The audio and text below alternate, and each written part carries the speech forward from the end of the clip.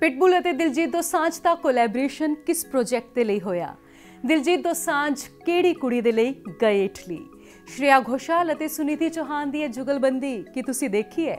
ਨਹੀਂ ਦੇਖੀ ਤਾਂ ਦਿਖਾਵਾਂਗੇ ਅੱਜ ਦੇ ਐਂਟਰਟੇਨਮੈਂਟ ਟ੍ਰੈਪ ਦੇ ਵਿੱਚ। ਮੈਂ ਹਾਂ Tanisha Chauhan welcome to BBC news Punjabi Diljit Dosanjh ਕਈ ਇੰਟਰਨੈਸ਼ਨਲ ਸਟਾਰਸ ਦੇ ਨਾਲ ਕੋਲੈਬੋਰੇਟ ਕਰ ਚੁੱਕੇ ਨੇ, ਪਰ ਇਸ ਵਾਰ ਦੀ ਕੋਲੈਬੋਰੇਸ਼ਨ ਦੇ ਖੂਬ ਚਰਚੇ ਨੇ। ਇਸ ਵਾਰ ਦਿਲਜੀਤ ਨੇ ਕੋਲੈਬੋਰੇਸ਼ਨ ਕੀਤੀ ਹੈ ਗਲੋਬਲ 뮤직 ਆਈਕਨ ਪਿਟਬੁਲ ਦੇ ਨਾਲ। ਬੁਲਬੁਲੇਆ 3 ਦੇ ਟਾਈਟਲ ਟਰੈਕ ਦੇ ਲਈ ਦੋਹਾਂ ਨੇ ਕੋਲੈਬੋਰੇਟ ਕੀਤਾ ਹੈ। ਦੋਹਾਂ ਦੀ ਚਰਚਾ ਤਾਂ ਖੂਬ ਹੋ ਰਹੀ ਹੈ, ਪਰ ਕਾਰਤਿਕ ਆਰੀਅਨ ਦੀ ਮੂਵਸ ਨੂੰ ਵੀ ਕਾਫੀ ਪਸੰਦ ਕੀਤਾ ਜਾ ਰਿਹਾ ਹੈ। ਤੁਸੀਂ ਵੀ ਦੇਖੋ ਇਹ ਗਾਣਾ ਤੇ ਦੱਸੋ ਕਿ ਤੁਹਾਨੂੰ ਕਿਵੇਂ ਦਾ ਲੱਗਿਆ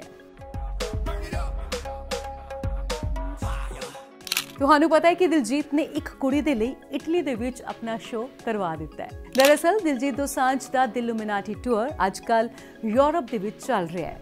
ਉਹਨਾਂ ਦੀ ਲਿਸਟ ਦੇ ਵਿੱਚ ਇਸ ਵਾਰ ਇਟਲੀ ਨਹੀਂ ਸੀ ਪਰ ਦਿਲਜੀਤ ਦੋਸਾਂਝ ਨੂੰ ਇਸ ਲਿਸਟ ਦੇ ਵਿੱਚ ਇਟਲੀ ਦਾ ਸ਼ੋਅ ਐਡ ਕਰਨਾ ਪਿਆ ਇੱਕ ਕੁੜੀ ਦੇ ਲਈ। ਮੈਂ ਇਟਲੀ ਤੋਂ ਦਲਜੀਤ ਦੀ ਇੱਕ ਫੈਨ ਪੇਜ ਰਨ ਕਰਦੀ ਹਾਂ ਐਂਡ ਕਦੇ ਨਹੀਂ ਸੋਚਿਆ ਸੀ ਤੁਹਾਨੂੰ ਲਾਈਵ ਦੇਖਣ ਨੂੰ ਮਿਲੇਗਾ। ਤੁਹਾਡੇ ਕਰਕੇ ਅਸੀਂ ਇੱਥੇ ਆਏ ਹਾਂ।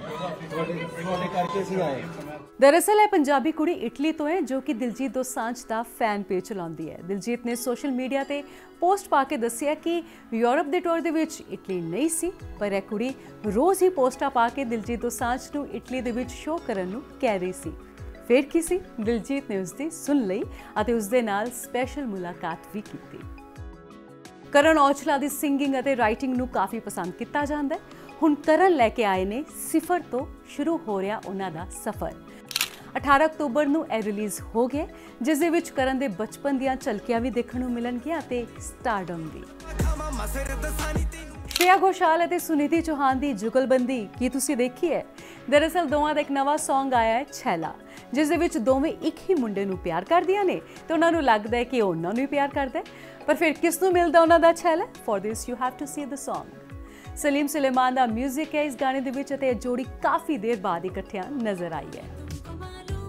We don't want to end this entertainment trap with sad news but ਇਸ ਖਬਰ ਨੂੰ ਮਿਸ ਵੀ ਨਹੀਂ ਕੀਤਾ ਜਾ ਸਕਦਾ ਲੰਡਨ ਦੇ English Irish pop boy band ਦੇ ਫਾਰਮਰ ਸਿੰਗਰ ਲਿਆਮ ਪੇਨ ਨਹੀਂ ਰਹੇ ਮਹਿਜ਼ 31 ਸਾਲਾਂ ਦੀ ਉਮਰ ਦੇ ਵਿੱਚ ਉਹਨਾਂ ਦੀ ਮੌਤ ਹੋ ਗਈ ਹੈ ਜਿਸ ਨੂੰ ਲੈ ਕੇ ਉਹਨਾਂ ਦੇ ਫੈਨਸ ਕਾਫੀ ਨਿਰਾਸ਼ ਨੇ ਹੁਣ ਤੱਕ ਦੀ ਰਿਪੋਰਟਸ ਦੇ ਮੁਤਾਬਕ ਉਹਨਾਂ ਦੀ ਮੌਤ ਇੱਕ ਹੋਟਲ ਦੀ ਤੀਜੀ ਮੰਜ਼ਲ ਤੋਂ ਡਿੱਗਣ ਦੇ ਨਾਲ ਹੋਈ ਹੈ ਉਹ ਹੁਣ ਤੱਕ ਦੇ ਸਭ ਤੋਂ ਮਹਿੰਗੇ ਵਿਕਣ ਵਾਲੇ ਬॉय ਬੈਂਡਸ ਦੇ ਵਿੱਚੋਂ ਇੱਕ ਸੀ ਉਹਨਾਂ ਦੀ ਐਲਬਮਸ 4 ਅਤੇ ਮੇਡ ਇਨ ਦਾ ਏਐਮ ਕਾਫੀ ਹਿੱਟ ਰਹੀਆਂ ਉਹਨਾਂ ਦੇ ਨਾਮ ਕਈ ਅਵਾਰਡਸ ਵੀ ਨੇ।